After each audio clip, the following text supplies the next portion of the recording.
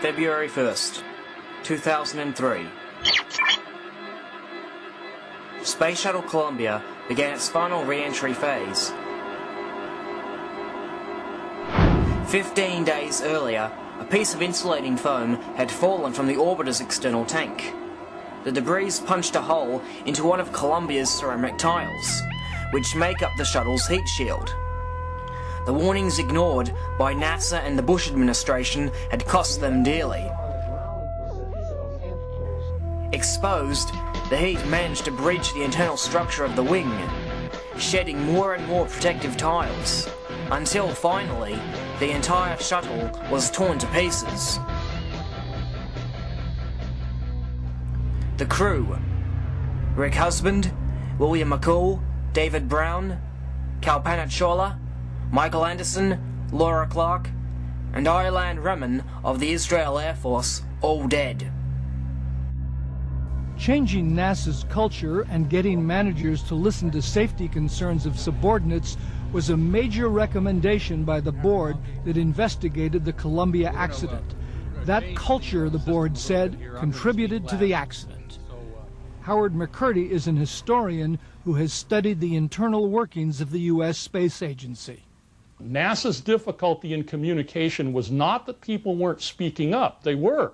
People issued warnings before the Challenger accident. They issued warnings during the flight of Columbia. The difficulty was on the other end that people in the mission management teams weren't listening. Or more appropriately, they weren't interpreting what they were hearing in the correct way. Investigators make a disturbing discovery. NASA's engineers were worried about the foam strike's effects. They asked managers to commission satellite photographs of Columbia's wing while in orbit to check for damage. But NASA's management turned them down.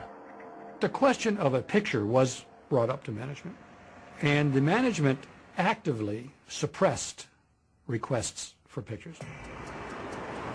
They actually went on the aggressive to stamp out any thought of pictures. NASA should have known better. The endangerment to Columbia's tiles existed long before she even flew the shuttle program's maiden flight.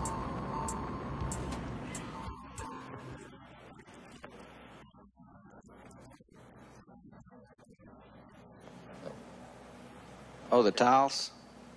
Tiles are in good shape. We're not going to have to repair tiles. They're fixed.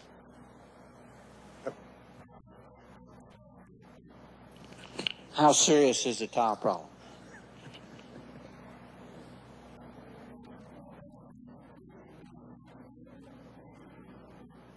Well, if you don't have any tiles on the bottom, the vehicle's going to burn up. If you have a lot of tiles on the bottom, the vehicle won't burn up. You can lose a tile in a certain area, a single tile, and I don't think it'll do anything to you. My personal opinion is. I've heard people say there's going to be a zipper effect.